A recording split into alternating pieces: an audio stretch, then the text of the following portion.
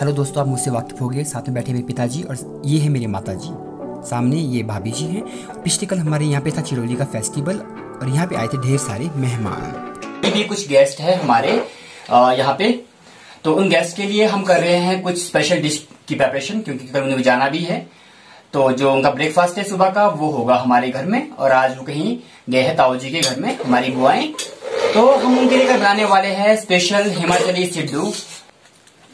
आप देख सकते हैं, यहाँ से पिस के निकल रहा है बाहर ये। उड़द की दाल है, माश बोलते हैं हम इसको।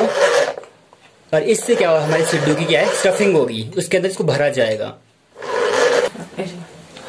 और दोस्तों, अब आप देख सकते हैं कि इसके बाद अब पिस रहे हैं माता जी पहाड़ों में एक मान्यता होती है कि अगर हम सब मिलके काम करते हैं, किसी काम को ऐसे डिश वगैरह बनाते हैं तो काफ़ी ज़्यादा टेस्टी बनता है। तो उस प्रथा को उस परंपरा को हम फॉलो करते हुए अब करने हैं माता जी की। माता जी इसको पीस रहे हैं उड़द की दाल को।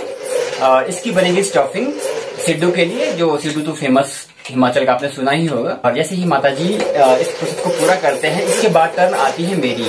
और मैं भी यही रिपीटेड काम को करूँगा। शायद जिससे जो हम पकवान बनाएँगे जो डिश हम बनाएँगे वो काफ़ी ज़्यादा टेस्टी बने। अब टर्न है मेरी। पहाड़ों की एक मान्यता है कि अगर हम मिलजुल के काम करते हैं और कोई डिश को बनाते हैं तो काफ़ी ज़्यादा टेस्टी बनती है। तो उस मान्यता को आगे बढ़ाते हुए मैं भी अब क्या कर रहा हूँ, जो उड़द की दाल है, उसका पेस्ट बनाते हैं हम हल्का स्टफिंग के लिए। तो अब वो काम मेरे हवाले कर दिया गया है। स्टफिंग कैसे करते हैं, हम आपको वो भी दिखाएँगे। फिर स्टीमर का हम यूज़ करते हैं उसको पकाने के लिए सिड्डू को पकाने के लिए। उसके बाद हम उसको घी के साथ परोसते हैं। वो भी देसी लोकल घी। हमारी जो पहाड़ी गाय होती है, उसके घी के साथ जो सिड्डू बहुत टेस्टी लगता है। आपको हम दिखाएँगे पर खिलाएँगे नहीं। और अगर आपने हमारे चैनल को अभी तक सब्सक्राइब नहीं किया है तो प्लीज़ सब्सक्राइब करें। इस वीडियो को लाइक करना ना भूलें और कमेंट सेक्शन पे कमेंट करना ना भूलें। अब आप देख सकते हैं यहाँ पे हम आटा गूंथ रहे हैं सीडो बनाने के लिए।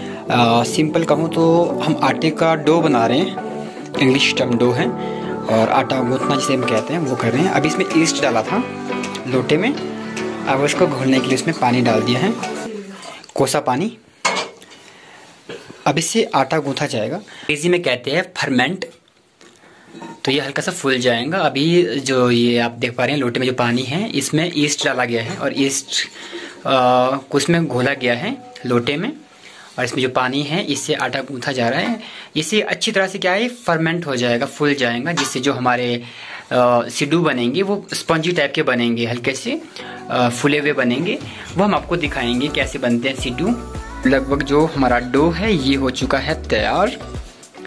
और इसके बाद इसको देंगे हम कुछ घंटों का रेस्ट और जो हमारा स्टफिंग का मटेरियल है उड़द की दाल का जो हमने पेस्ट बनाया था स्टफिंग के लिए, वो हमारे बिल्कुल रेडी हो चुका है और इसके बाद हमारा डो भी रेडी है। जैसे ही हमारे इस डो को रेस्ट मिल जाता है उसके बाद हम यहाँ पे यूज़ करेंगे स्टीमर स्टीमर में हम सिड्डू को पकाएँगे और आपको दिखाएँगे कि स्टफिंग कैसे करते हैं, कैसे अब दोस्तों, आप देख सकते हैं, अब यहाँ पे हमारे सिड्डू बनने की जो प्रक्रिया है, वो पूरी शुरू हो चुकी है। यहाँ पे अब सिड्डू बनाने के लिए इसमें स्टफिंग कर दी है। और यहाँ लगा हुआ है चूल्हे पे स्टीमर इसमें पानी को बॉईल किया गया है। और ये पहला सिड्डू बन के तैयार, इसको रख दिया है सीडू मेकर में। और इसी प्रकार से इस पूरे सीडू मेकर को फिल किया जाएगा और उसके बाद इसको लगाया जाएगा स्टीमर पर पकाने के लिए।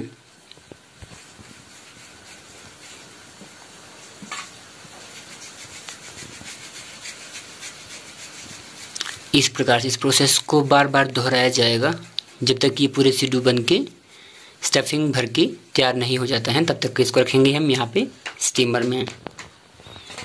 स्टफिंग आपको बहुत ही सावधानी से करनी होती है, क्योंकि सिड्डू के फटने का भय बना रहता है, और जिससे कि आपके जो सिड्डू हैं वो ख़राब हो सकते हैं।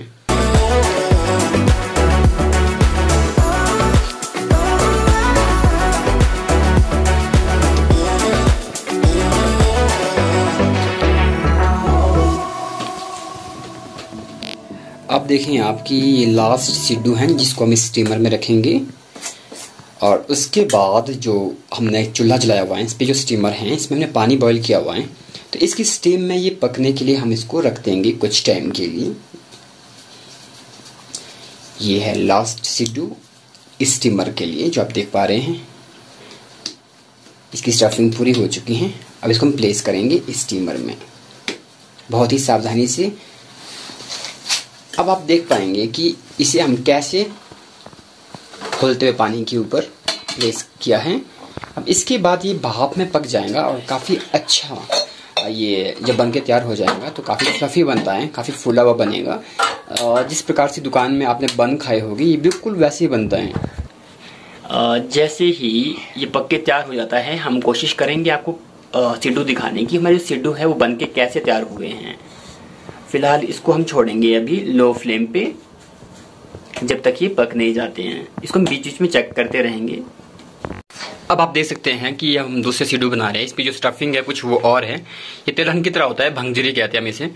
अब भंगजरी और गुड़, जिसे हम कहते हैं जैगरी उसका हम एक मिक्सचर बनाते हैं स्टफिंग के लिए। तो अब हम जो सीडू बना रहे हैं, अब स्टफिंग हो रही है। इसमें मीठे वाले ते हैं, ये काफ़ी फ्लफी से बने हुए, फूले हुए बने हुए हैं। क्योंकि इसमें हमने यूज़ किया था ईस्ट का, और हमारे सीडू तैयार है। अब इसके बाद बनाएँगे हम मीठे वाले सीडू और अभी तक हमारे मेहमान नहीं आए हैं। और मुझे जाना है अपने दोगरी, जहाँ पे मुझे है काम। आज हम लगाएँगे वहाँ पे मटर। इसलिए शाम तक ही खाने का नसीब होगा। यदि ये कुछ बचते हैं तो आपको हम ज़रूर दिखाएँगे। फ़िलहाल हम जा रहे हैं खेत के लिए, क्योंकि जो गाँव का शेड्यूल है, काफ़ी बिज़ी रहता है। वो कहते हैं ना, दाने दाने पे लिखा है खाने वाले का नाम तो आज अपने भाग्य में अभी तक तो नहीं है, ताज़ा ताज़ा खाना। शाम तक बचता है तो आपको ज़रूर दिखाऊँगा। दोस्तों, हमारे सिड्डू अभी तक नहीं पके हैं, हमने चेक किया था इसे। हम जा रहे हैं अब खेत के लिए।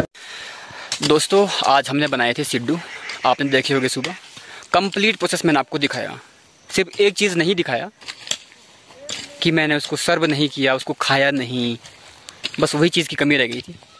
सच बताऊँ, वो मुझे भी नसीब नहीं हुआ, क्योंकि मुझे आना पड़ा अपने खेत, यहाँ पे मटर बेचने के लिए। इसलिए मेरे भाग्य में वो सिड्डू खाना नहीं था। इसीलिए सच ही कहा किसी ने दाने दाने पे लिखा है खाने वाले का नाम। और, सिड्डू की बजाय हमने खाए आज खेतों में धूल, और भाई लोगों, आप हमें मत जाना भूल।